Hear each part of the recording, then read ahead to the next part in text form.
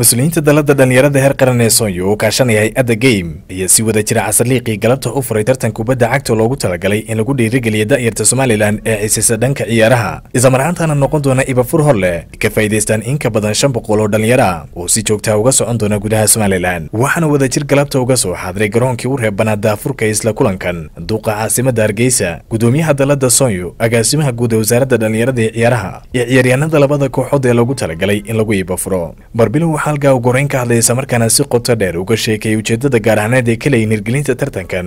Cabdicasiis ciise saalax gudoomiyaha dalada dhalinyarada heer qaran ee soonyo barnaamij ay wada qabanayaan hay'adda game iyo dalada dhalinyarada somalilan ee soonyo barnaamijkan oo noqon doona barnaamij tijaabo ah islamarkaana saddex goobood laga tijaabin doono waxa uu kor u qaadi doonaa insha allahu sportiska iyo isdhexgalka bulshada iyadoo lagu tababari doono dhalinyaro badan islamarkaana lagu gaari doono ay ka faaidaysan doonaan dhalinyaro gaarhisa ilaa shan boqol oo dhalinyaro ugu dambeynta barnaamijkan wuxuu socon doonaa insha allahu muddo lix iyo toban bilooda. Waa tijaabo.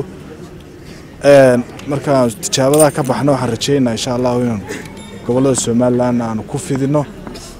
Waxaan halkan uga mahadnaqayaa cid kasta oo ka qayb qaadatay barnaamijkaasi inuu hirgalo oo ay ka mid yihiin wafdida hay'adda game ka socota siciid iyo simon. Dhankooda waxaa iyaguna halkaa ka hadlay madaxa hay'adda game ee east africa siciid suufi iyo madaxa guud ee hay'adda game simon oo dhankooda goobjoog ku ahaa isla furitaanka tartankan. Waxaan aada ugu faraxsanahay dhallinyarada somalilan waxqabadka aanu hay'ad ahaan ugu talagalnay inay maanta bilow tahay. Waxaanu rajeynaynaa insha alla tacaala sanadada soo socda inaan wax ka qabanno garoommada dalka. Si qof walba oo somalilan daloo dhallinyaro ah u helo fursad uu sboorti uu ku helo ama kubadda cagta ama baasketka and you live longer and you can achieve more. So we hope together that we can do more positive change for Hargeisa, for Somaliland, for everyone. Xildhibaan dayib xasan oo ka mid a mudanayaasha golaha guurtida ahna rugcadaa dhanka kubadda cagta. Iyo agaasimaha guud ee wasaaradda dhallinyarada ee ciyaaraha ayaa iyaguna dhankooda hoosta ka xariiqaya ahmiyadda koruqaadidda iyo sidoo kale taageeridda u leedahay horumarka dalgaadho oo maanta dadka ugu badan ee mujtamaca ku badan somalilan iyo weliba magaaladan caasimadda hargeysa waa dhallinyaro.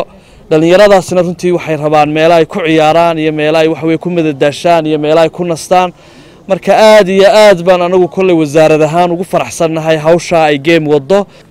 Isboortigu waxa weeyaan waa jidhkii caafimaadka qaba. Isboortiga waxa u baahan dadka waaweyn waxa u baahan kuwa yaryar waxa u baahan maadaama uu dhakhtarku qorayo. Gunaanadkana waxaa si rasmiya halkaa erayo kooban ku cabiray ahmiyadda tartankan u leeya daayirta iyo sida ka gola deegaan ahaan ay u garab taagan yihiin. Cabdiraxmaan maxamuud caydiid solteelko duuqa caasimadda hargeysa. Run ahaantii laba sanno koor markuu noo yimid samuel markuu noo yimid waxaa la lahaa.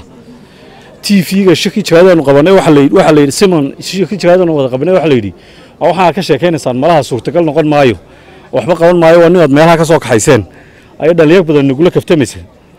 Run ahaantii aad baan ugu faraxsanahay inuu arkay isbeddelkii ka yimid bacaha uu halkanna ka sheegay. Mar labaadka hawsha waxaad ogtihiin intii hargeysadii hore inayna dhul badan oo garoomo lagu ciyaaraana lahayn wixii koobnaaye ku yaalay qaaraan wax ka qabannay iyo kuwaan wax ka qaban doona inay noqdaan. Kuwa dambe wax laga qaban doono insha allahu tacaala qayb qaatay dhismihiisiina uu hadda socdo. Waxaan leeyahay soonyo iyo geem. Hawsha ay wadaan aad baan ugu faraxsannahay.